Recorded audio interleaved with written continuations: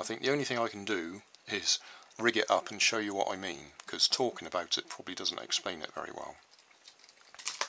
So I'll take the circuit board out of here and take the little mechanical stop out of there which is as far as I know just a little plastic peg that we need to cut off.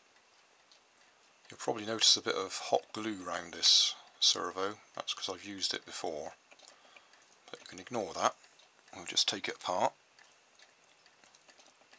Hopefully my camera will stay in focus.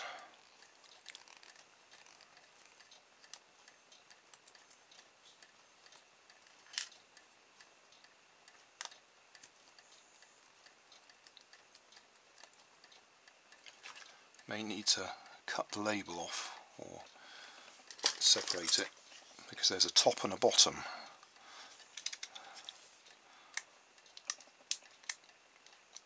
don't go in too far, you don't want to cut anything inside. That'll do. Just focus, yeah.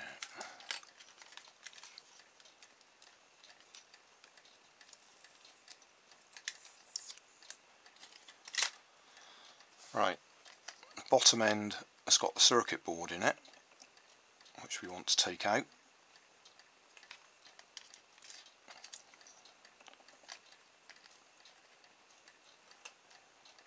So that's the electric motor just there.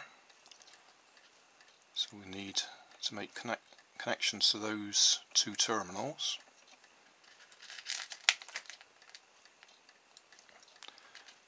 In there is a part that we won't need at all for my purposes. That's the bit that actually detects how much of a rotation the lever arm has made and that's not going to be important to us at all. We can just ease the rest of it apart. There we go. In there, that's the stop. That piece there. That's the bit that stops it rotating more than, well, 360 degrees. It actually stops it well before then. So that's the bit we're going to need to trim out the way so that it can keep rotating. So we don't want to move any of these if we can avoid it. So I'll put that down carefully. Right, so we want to get that piece out. So we have to take this off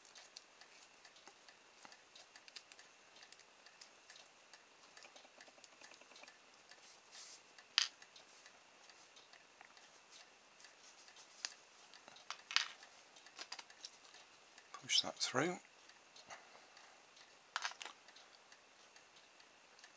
And we need to get that tag off.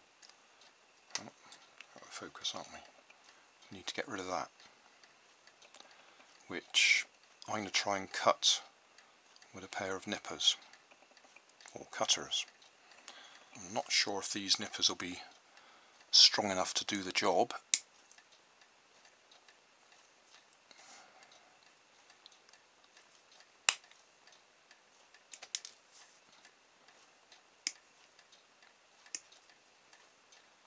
seems to have done it.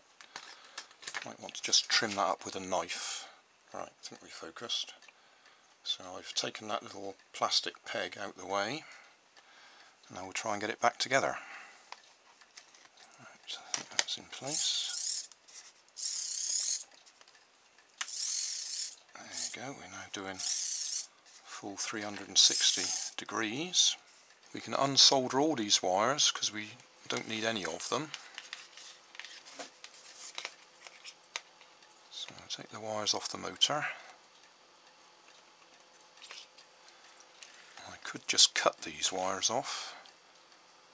I'll try and be neat and unsolder them.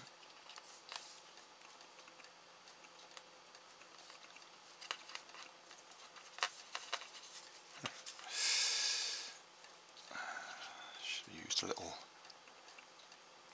bracket or something to hold it still.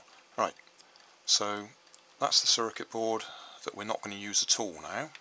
I won't throw it away, I'll keep it, I might find some use for it one day. Now we need to attach a couple of wires to the motor.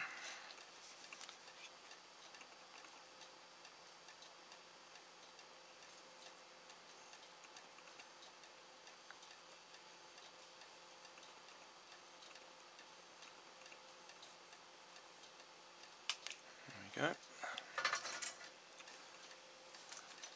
And rather thicker wires than the original were. Not sure if the cover will go back on without me trimming them a bit. Oh yes, looks like it will. Before I actually screw it down, I'll just try it on a battery.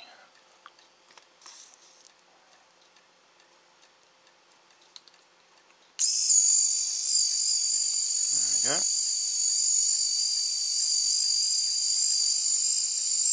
So, continuous rotation. You can use this simple modification to make little robots and that sort of thing if you want.